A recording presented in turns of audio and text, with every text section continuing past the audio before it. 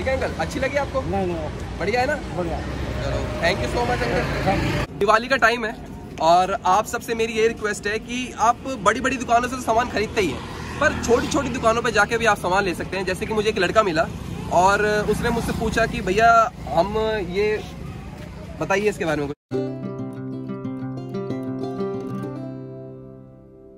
hello friends welcome to Karan Singh blogs और guys ये जो चीज़ मेरे सामने है ये मेरा दिवाली का गिफ्ट है। मेरे पापा की तरफ़ से मुझे ये गिफ्ट में मिली है। और मैं बहुत ही ज़्यादा खुश हूँ क्योंकि मुझे बहुत दिनों से स्कूटी की ज़रूरत थी। ये मेरा सरप्राइज़ गिफ्ट था। एक्चुअली मुझे पता तो था कि पापा मुझे स्कूटी गिफ्ट में देने वाले हैं। पर मैं श्योर नहीं था कि वो देने वाले हैं कि नहीं। पर जैसे कि ध- अ, कल धनतेरस था और सात आठ बज गए थे। पापा घर नहीं आए। तो मुझे शक हुआ थोड़ा सा। पहले तो मुझे लगा कि शायद वो पार्टी में गए होंगे क्योंकि दिवाली की पार्टी है और अ, उनको जाना पड़ता है। मुझे लगा कि वो पार्टी में गएँगे पर फिर थोड़ा थोड़ा मेरा शक ना यकीन में बदलने लगा कि शायद कुछ ना कुछ तो गड़बड़ है। तो फिर सात बजे के करीब पापा ने मुझे कॉल किया बोला कि ज़रा नीचे आया थोड़ा काम है। तो जैसे ही मैं नीचे जाने को लगा और मैं उसी टाइम समझ गया क्योंकि मुझे स्कूटी की आवाज़ आ गई थी और उसके बाद जो मेरा रिएक्शन था वो आप वीडियो में देख सकते हैं। वीडियो में मैंने डाला हुआ है कि मेरा क्या रिएक्शन था, कैसे मैं अपने पापा से बात कर रहा था, कैसे मेरे भाई खड़े थे, कैसे हमने उसकी पूजा की और कैसे ये मज़ा सा आ गया। अंधेरा हो रहा है, बहुत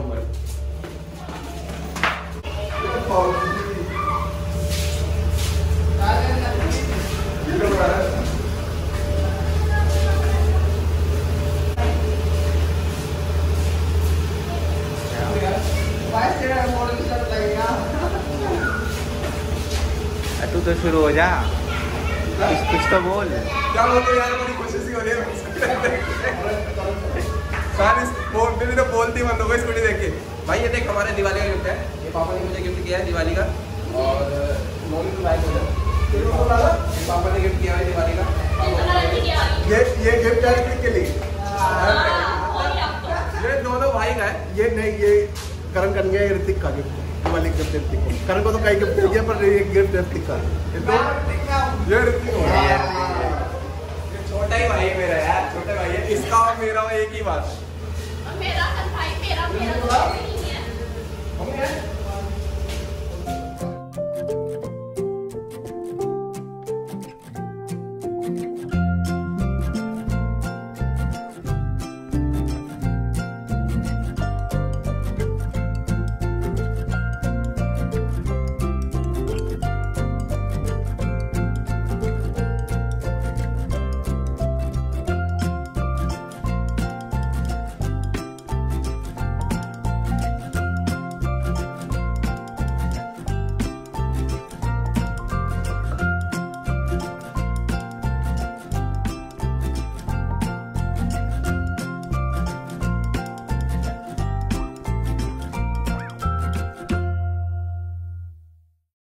बहुत सारे काम रहते हैं जो कि मुझे पैदल करने पड़ते हैं, पर स्कूटी आने की वजह से ये काम बहुत आसानी से हो सकते हैं। जैसे कि मेरे शूट्स होते हैं, मुझे शूट पर जाना पड़ता है।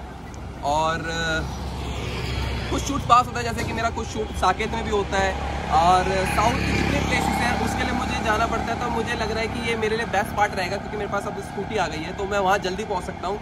और घर में शादी है, मेरी बहन की शादी आने वाली है तो इसकी बहुत ज़्यादा ज़रूरत है मुझे, क्योंकि बहुत ज़्यादा सामान कभी कभी सामान लेना होता है, किसी को लेके आना होता है तो इसके लिए ये बहुत ज़्यादा मेरी हेल्प करने वाला है। और मैं बहुत ज़्यादा खुश हूँ, ये दिवाली मेरी बेस्ट दिवाली होने वाली है।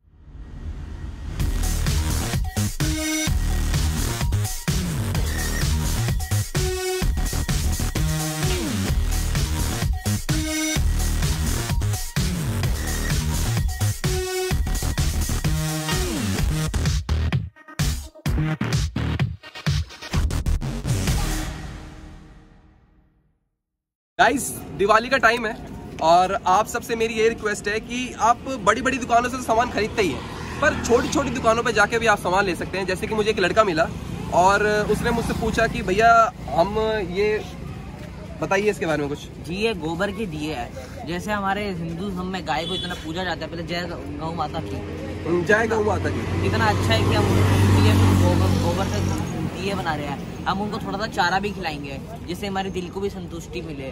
बाकी हम मेहनत कर रहे हैं। वैसे हमें कोई पैसे की कोई कमी नहीं है पर फिर भी हम गाय माता की सेवा करना चाहते हैं। तो आप भी इन्हें खरीदीजिए। अभी जैसे हम क्या नाम है भैया मेरा नाम है करण करण हाँ, सिंह। अभी जैसे करण भैया को भी जैसे दिए खरीद रहे हैं आप भी ऐसे पुण्य कमाइए। गाइस दिए बहुत अच्छे हैं। दिवाली का टाइम है और बहुत ही सुंदर दिए हैं। आप ले सकते हैं और बहुत ही ज़्यादा अच्छे हैं। भाई बहुत ही बढ़िया है दिए। मुझे तो अच्छे लगे मैं तो लूँगा। गाइस आपको भी लेने। और दिवाली यार एक खुशियों का त्यौहार है। सबके साथ मिलके मनाना चाहिए। और happy Diwali to happy Diwali happy Diwali. Guys तो अपने घर पे जाके जलाऊँगा। और गाइस आपके पास भी अगर कोई ऐसे लोग हैं तो जाके दिए लीजिए यार। बहुत अच्छी बात है यार। दिवाली सबके घर में आनी चाहिए। पैसा सबके घर में आना। गाइस हम चले स्कूटी की राइड लेने के लिए। चलते हैं फिर।